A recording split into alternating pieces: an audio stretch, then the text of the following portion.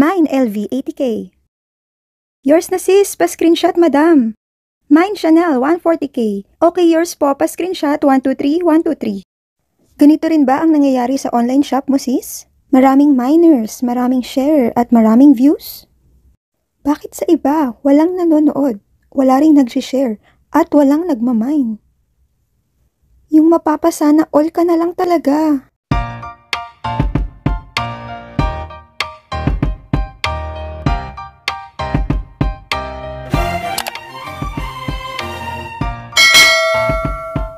What's up Philippines and what's up world? Welcome back to my YouTube channel! Another Tita Talk na naman! And kung bago ka dito, please subscribe.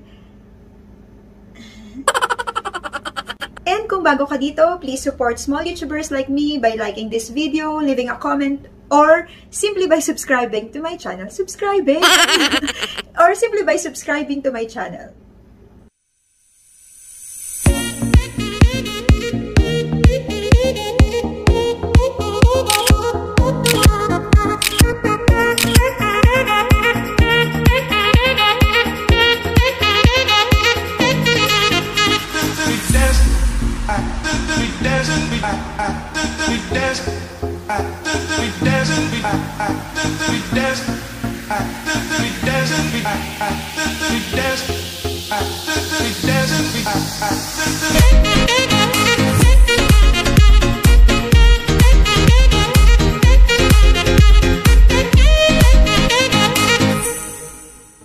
Lang muna tayo ngayon. And kung napansin nyo, tinanggal ko na rin yung blazer ko. Anyway, welcome back to my channel. At samahan nyo ako ngayon sa another Tita series at chikahan. So, ang unang tanong, bakit ko nga ba ginawang video ito o bakit ko ginawang topic ito? Um, sa panahon ngayon, sobrang dami na na nagiging YouTuber at nagiging small um, business owners or online sellers, lalo na sa Philippines.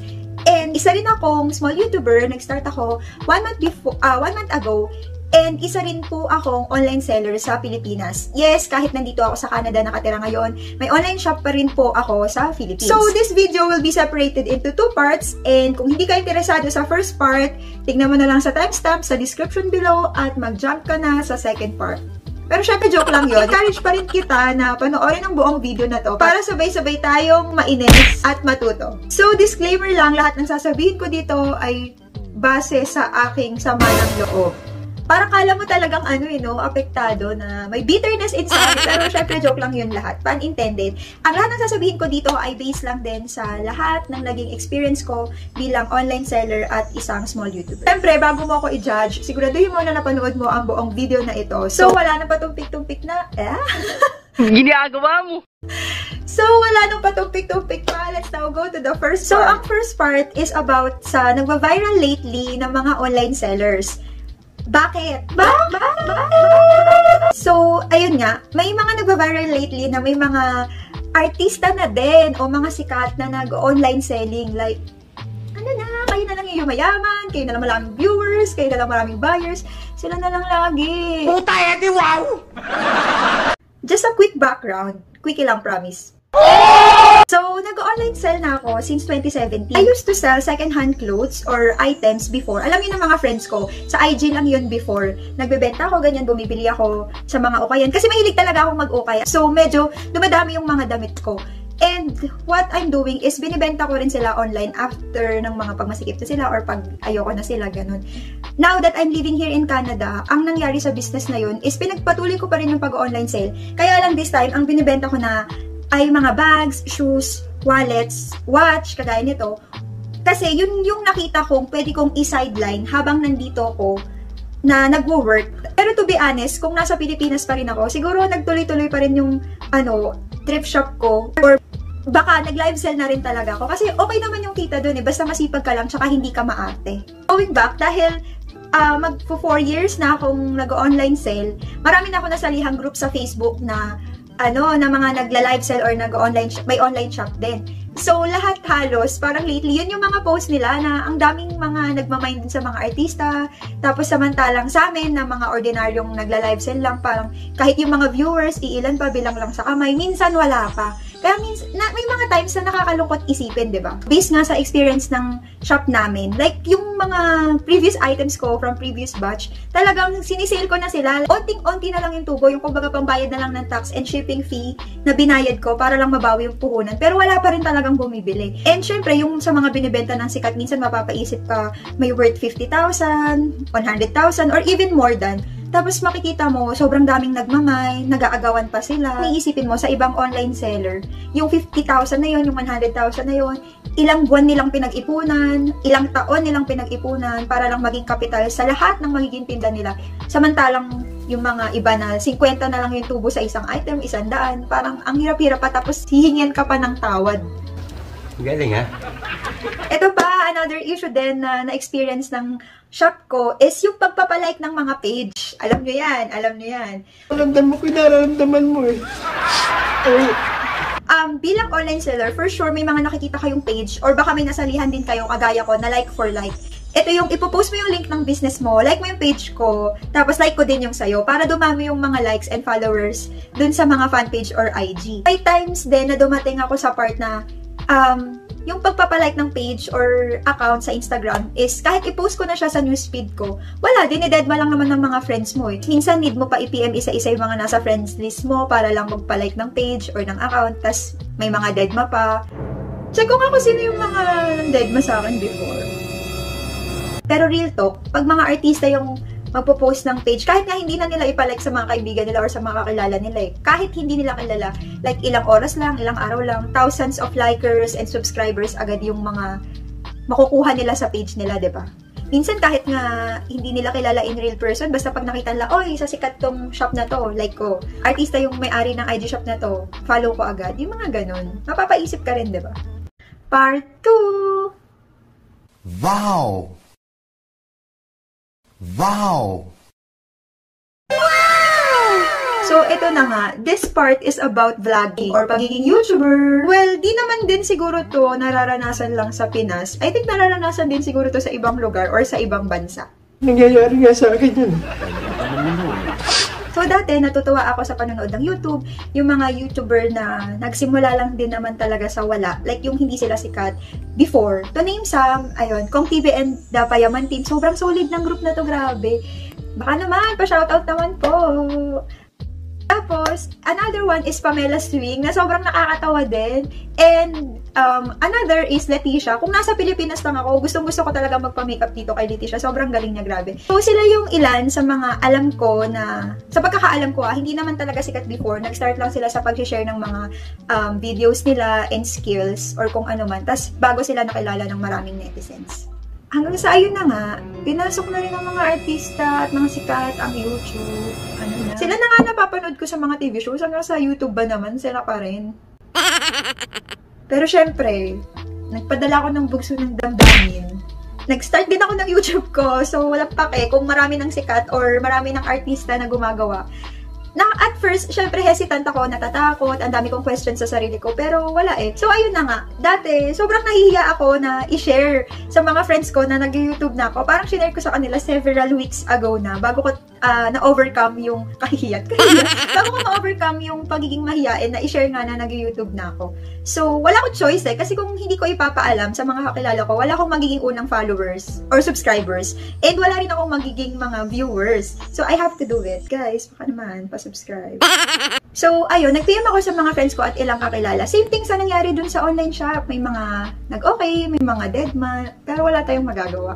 And, ganun din, pag mga sikat, alam mo yon yung may pa-teaser-teaser pa sila, tapos isang upload lang nila or kinabukasan, may mga millions, thousands of subscribers na sila agad. Di na nila kailangan magpa-like, magpa-comment, magpa-subscribe. Automatic na yon Minsan may mga uh, promotion na nga sila agad eh. Like, may mga advertisement na sila agad. Kasi, ganun talaga pag sikat. Sorry, hindi ako sikat. Kung nalaman mo yung mga ganito, syempre, panghihinaan ka ng loob. Like, nakaka-depress. Minsan, isipin mo, tutuloy ko pa ba to? Uh, magbebenta pa ba ako? Ang dami ng kaagaw. Ang dami ng katulad. Pati artista, gumagawa na rin. Mag-YouTube pa ba ako? Ang dami ng sikat. Hindi nila ako panoorin. May mga ganun akong feeling before. Pero, ganun talaga eh. Life is unfair. Sino ba nagsabi na fair ang life?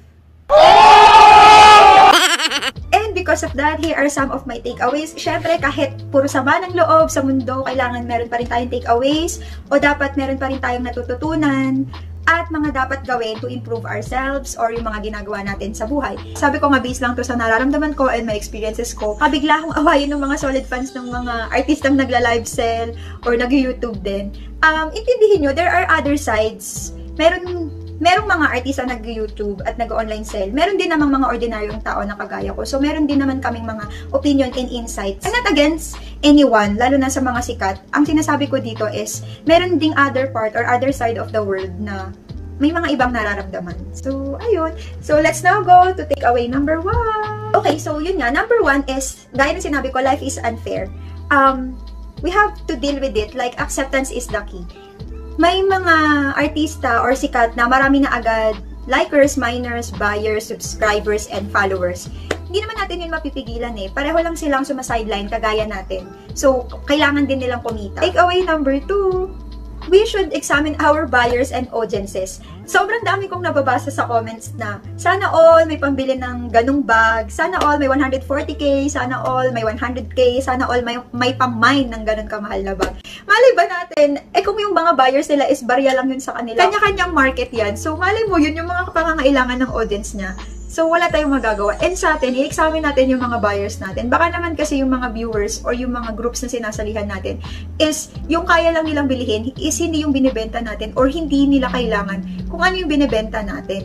Hindi naman natin mapipilit o makukumpara na, but doon may nag-mine 40k. Oy, it happened to me ah. Merong sikat na nag-live sell siya. Ang worth ng bag niya is uh, ah, 5,000, tapos sa akin 3,000 lang, tapos sa kanya, ang daming nag-mine, ang daming nagagawan, tapos sa akin, parang ang tagal ko na siyang pinost, hanggang ngayon ata wala pa rin bumibili. At ang tatak ng bag na yon ay tatak din ng damit ko ngayon. So going back, i-level natin yung ino-offer natin dun sa target market natin or dun sa mga audience natin. Same thing sa pagiging um, YouTuber. Baka mamaya, yung mga audience natin, hindi naman natin mapipilit kung ayaw nila ng sinasabi o ginagawa ko dito, hindi ko sila mapipilit na panonood, na manood sa akin. Right now, kung hindi sila interesado sa online selling, di ba, bakit nila pipiliting manood? Samantalang pag sa mga sikat, kahit naman walang connect sa buhay nila, kung gusto talaga nila yun, papanoorin nila yun. So, ganun lang yun um, makakahanap din tayo ng right market and right audience natin in time. Medyo, tsaga, kailangan lang talaga nating tsagain and aralin kung ano yung gusto ng tao na nakapaligid sa atin. Take away number three.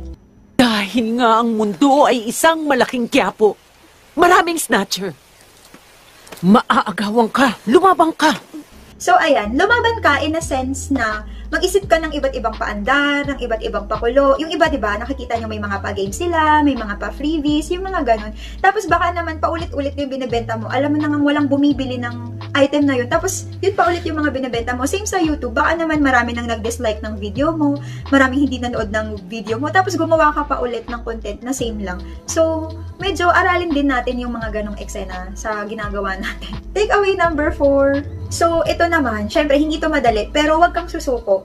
Um, marami akong kakilala na kahit ako minsan, nandi-depress kapag uh, tigil ko na muna yung live sale, wala namang nanonood, um, tigil ko na to, wala namang bumibili, mga ganun. Nakakalungkot, pero syempre, kailangan natin gawan to ng paraan. So, for me, humanap ka ng mga groups, whether sa FB or sa other sites o kung saan man, kung saan matutulungan ka dumami ang mga viewers mo at buyers mo. Like me, alam mo, sobrang dami ko na atang nasa lihang page ng mga small businesses, online selling. Humanap ka ng mga groups na matutulungan yung business mo sa mga simpleng paraan sa pagiging YouTuber naman, I believe hindi ka naman kailangan maging sikat agad para maging art maging ano ba? I believe hindi ka naman kailangan maging sikat muna bago ka maging YouTuber. Gaya nga nung mga nabanggit ko, may mga tao na nagsimula lang din sa scratch, nagsimula sa wala, bago sila nakilala ng netizens. Siguro ganun talaga sila kagaling, ganun sila pinapanood ng tao, ganun sila ka-innovative. So baka may mga skills ka or mga topics ka na interesado yung tao sa'yo at talagang susubaybayan ka nila. So, tsaga lang talaga, wag kang agad susuko. Mahahanap mo rin yung kiliti ng mga audience. Hindi tayo makakarating dun sa goal natin kung ititigil natin agad-agad yung sinimulan natin. So, fighting lang. And my takeaway number 5 and last but not the least, kung may mga kaibigan, kakilala, relative relative, relatives kayo na may small businesses, online selling, nag-YouTube, hindi naman siguro makakabawas sa pagkatao niyo yung simpleng pagla-like, pag-share, pag-subscribe, yung mga simpleng support sa mga ginagawa nila or sa business nila, di ba? Halimbawa, kung may kakilala kayo naghahanap ng item na alam nyo naman na may ka- kaibigan kayo na nagbebenta ng ganun, i-refer nyo naman yung shop nila. Like, ako, kung may kakilala kayo right now na kailangan ng bags, ng wallets, or ng watch, i-refer nyo yung shop ko. Parang ganun lang, di ba? In that way, matutulungan nyo yung kaibigan nyo na naghahanap at matutulungan nyo rin yung kakilala nyo na nagbe-business. Kung may kakilala kayo na lagi nanonood ng YouTube, baka naman pa-subscribe nyo na rin yung channel ko.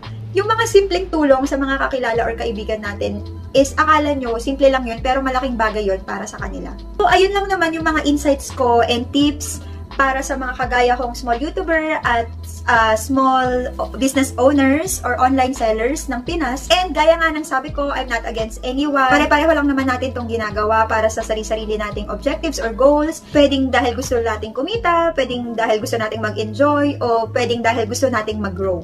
Ayun lang. Um, once again, salamat sa inyong lahat and see you on my next vlog. Paalam!